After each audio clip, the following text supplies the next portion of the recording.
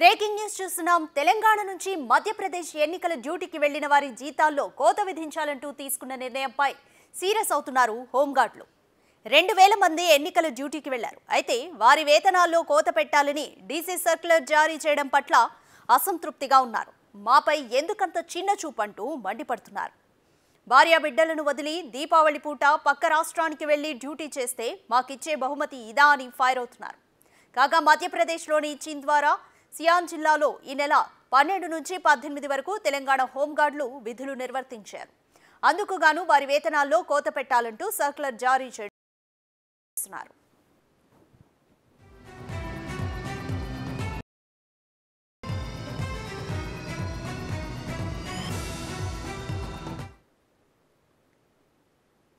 At complete details మా input editor Pavan phone లైన్లో అందిస్తారు.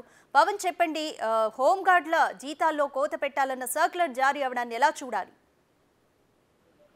ఇటీవల మధ్యప్రదేశ్లో జరిగిన ఎన్నికలకు తెలంగాణ రాష్ట్రం నుంచి దాదాపుగా రెండు వేల మంది హోంగార్డులను ఇక్కడి నుంచి పంపించారు. అక్కడ మధ్యప్రదేశ్లోని చింద్వారా సియాన్ జిల్లా ఈ రెండు జిల్లాల్లో ఈ రెండు వేల మంది హోంగార్డులు ఎన్నికల విధుల్లో పాల్గొన్నారు. ఈ నెల పన్నెండు నుంచి పద్దెనిమిదో తారీఖు వరకు అక్కడ విధులు నిర్వర్తించారు. అయితే అటు డ్యూటీ హోంగార్డ్కి అలవెన్స్ కింద ఒక్కొక్క హోంగార్డ్కి డ్యూటీ అలవెన్స్ కింద తొమ్మిది వందల ఇరవై ఒక్క రూపాయలు అక్కడి ప్రభుత్వం మధ్యప్రదేశ్ ప్రభుత్వం మన రాష్ట్ర ప్రభుత్వానికి చెల్లించింది. ఇక డైట్ ఛార్జీలు అంటే రోజువారీ వీళ్ళ తిండి వాటి కోసం రెండు వందల యాభై రూపాయలు ఒక్కో హోంగార్డ్కి ఇచ్చింది. కానీ అక్కడ వాళ్ళు రెండు వందల యాభై రూపాయల కన్నా అదనంగా చాలా ఖర్చు అయ్యాయి రోజుకి దాదాపుగా నాలుగు రూపాయల వరకు ఖర్చు అయ్యాయంటూ హోంగార్డులు అందరూ వాపోతున్నారు. తిరిగి వచ్చేసరికి పదిహేడవ తారీఖున ఒక circular home guards DGP Abhilash అభిస్ ఆమె ఒక సర్క్యులర్ జారీ చేశారు.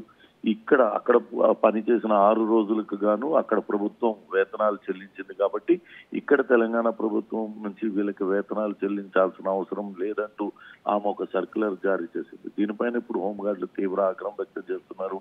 కుటుంబ సభ్యులందరినీ విడిచిపెట్టి రాష్ట్రంగానే రాష్ట్రం అన్ని వందల కిలోమీటర్లు తాము వెళ్ళి అక్కడ విధి నిర్వహణ చేసి వస్తే ఇక్కడ ప్రభుత్వం మాకు ఇవ్వాల్సిన దానిలో కోత విధించడం ఎంతవరకు అక్కడ ప్రభుత్వం అక్కడ చేసిన పనికి ఇచ్చింది. కానీ ఇక్కడ కూడా ఈ- కట్ చేయడం ఎందుకంటూ వాళ్ళందరూ కూడా వాపోతున్నారు. మరో ముఖ్యమైనది అక్కడికి వెళ్ళిన తర్వాత రామగుండం కమిషనర్ రామగుండం కమిషనరేట్కి చెందిన ఒక హోంగార్డ్ అక్కడ విధి నిర్వహణలో గుండెపోటుతో చనిపోయాడు. కనీసం అతనికి నష్టపరిహారం కూడా ప్రకటించలేదు.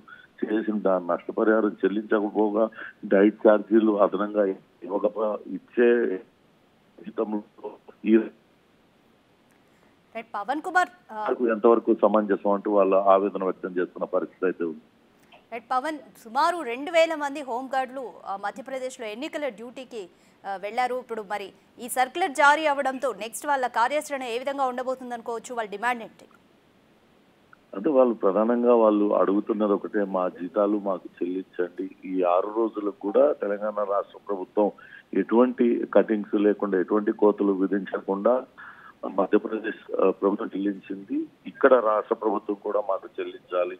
ఆరు రోజులు కూడా ఇక్కడ డ్యూటీలో పాల్గొన్నట్లుగానే భావించి మాకు ఆరు రోజుల జీతం కూడా చెల్లించాలంటూ కోరుతున్నారు. అట్లనే డైట్ ఛార్జీలు ఏదైతే రెండు వందల యాభై రూపాయలు ఇచ్చారో రోజుకి అది ఏ మూలకు సరిపోలేదు. మధ్యప్రదేశ్ రాష్ట్రంలో అక్కడ బియ్యం కేజీ ఎనభై రూపాయలకు పైగా ఉన్నాయి. అవన్నీ కూడా కొనుక్కొని తినాల్సి వచ్చింది. ఒక్కొక్క హోమ్ నాలుగు వందలు ఐదు వందలు కాబట్టి ఇప్పించాలి. స్వరాష్ట్రంలో అయితే రెండు వందల యాభై సరిపోయేది. మేము అడగడం లేదు. మాకు న్యాయంగా రావాల్సిన జీతాన్నే మా అడుగుతున్నాం. ఈ రకమైన సర్క్యులర్ జారీ చేయడంతో తాము కొంత నైతిక స్థైర్యాన్ని కోల్పోయిన పరిస్థితి ఉన్నది. కాబట్టి ప్రభుత్వం దీనిపైన పునరాలోచించాలి. పోలీసు ఉన్నతాధికారులు కూడా మానవతా దృక్పథంతో తమ పైన ఆలోచించి తమకు ఆరు రోజులకు గాను ఇక్కడ ప్రభుత్వం చెల్లించేలా చర్యలు కూడా వేడుకుంటున్న పరిస్థితి. Thank you Pawan